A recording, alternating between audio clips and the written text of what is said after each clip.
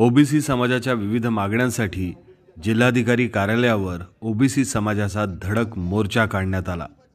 OBC संघर्ष समन्वय समिती रत्नागिरीनं या मोर्चाचं आयोजन केलं. ओबीसी समाजाचं राजकीय आरक्षण पुनर्स्थापित केल्याशिवाय आम्ही राहणार नाही अशी भूमिका सुद्धा यावेळी आंदोलकांनी मांडली.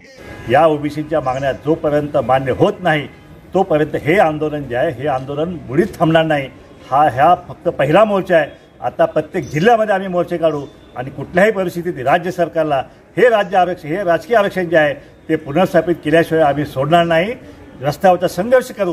हे राज्य सरकार जे आहे त्या आयोगाला निधी द्यायला तयार नाही. एम्पिकल डेटा राज्य सरकार गोळा करायला तयार नाही आहे तिकडे केंद्र सरकार द्यायला तयार नाही आहे अशा फुटबॉल जो आहे तो या ओबीसीचा केलेला आहे आणि त्याच्या निषेधार्थ जो आहे हा मोर्चा आम्ही केलेला आहे. जातनिहाय जनगणना दर एकवीसला नाही केली तर मात्र हा रस्त्यावरचा संघर्ष जो आहे हा राज्यातला संघर्ष आहे. आम्ही पूर्ण देशात नेऊ पण कुठल्याही परिस्थितीत या ओबीसीला आता न्याय मिळाल्याशिवाय हा ओबीसी बांधव जो आता स्वस्थ बसणार नाही. जो ओबीसी की हित की बात करेगा वही इस राज्य और देश में राज करेगा. जय ओबीसी. एस सी एस टीनं ज्या प्रकारे लोकसंख्येच्या आधारावर आरक्षण दिलं जातं तशाच प्रकारे ओबीसीना देखील आरक्षण द्यावं अशी मागणी सुद्धा यावेळी करण्यात आली. केंद्र शासनानं काय करावं? की घटनेच्या दोनशे त्रेचाळीस डी सिक्स आणि दोनशे त्रेचाळीस टी सिक्स या दोन्ही कलमामध्ये बदल करून एस सी एस टीनं जसं लोकसंख्येच्या प्रमाणामध्ये आरक्षण दिलं जातं आहे त्याचप्रमाणे आम्हाला देखील ते लोकसंख्येच्या प्रमाणामध्ये मिळालं पाहिजे. म्हणजेच पन्नास टक्केची जी मर्यादा आहे जी सिलिंग आहे ती केंद्र शासनानं घटनादुरुस्ती करून ते उठवावं. अशा प्रकारची आमची केंद्र शासनाला विनंती आहे.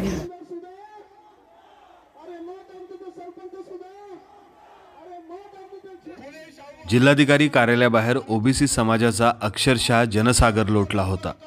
हजारोंच्या संख्येनं ओबीसी समाजाचे प्रतिनिधी या मोर्चामध्ये सहभागी झाले होते. ओबीसींना राजकीय आरक्षण मिळालंच पाहिजे शिवाय ओबीसी समाजाच्या विद्यार्थ्यांना शंभर टक्के शिष्यवृत्ती मिळाली पाहिजे अशा काही मागण्या यावेळी करण्यात आल्या. दोन हजार अठरा साली जेव्हा मध्य प्रदेश सरकारनं इम्पेरिकल डाटा मागवण्यासाठी दिल्ली दिल्लीकडे गेले केंद्राकडे गेले त्यांना इम्पेरिकल डाटा मिळाला. पण दोन हजार अठरा साली महाराष्ट्र सरकारने इम्पेरिकल डाटा मागितला केंद्राकडे. तो मिळाला नाही.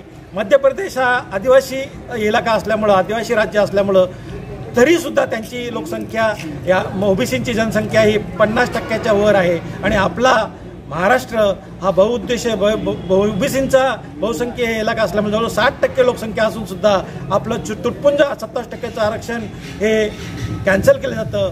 त्याच्यामुळं या केंद्र सरकार असू दे या राज्य सरकार असू दे यांनी दोघांनी मिळून जनगणना तर केंद्रांनी करावीच आणि इम्पेरिकल डाटा राज्यांनी किंवा केंद्राने तो द्यावा हे न दिल्यास केंद्राला त्याचे परिणाम या त्या काळात भोगावे लागतील आणि राज्याला सुद्धा त्याचे परिणाम भोगावे लागतील असं मी आपल्याला सांगू इच्छितो. ओबीसी समाजाच्या न्याय हक्कासाठी केंद्र आणि राज्य सरकारला आव्हान दिलं जात आहे आमच्या मागण्या तातडीनं मान्य केल्या गेल्या नाहीत तर आम्ही दिल्लीपर्यंत आंदोलन करू असं सुद्धा या सर्वांचं म्हणणं आहे.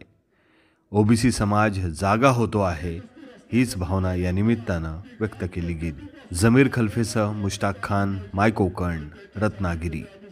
My Konkan subscribe करण्यासाठी लाल बटनवर क्लिक करा आणि त्यानंतर येणाऱ्या बेल आयकनवर क्लिक करून सर्व अपडेट्स आपल्या मोबाईलवर मिळवा.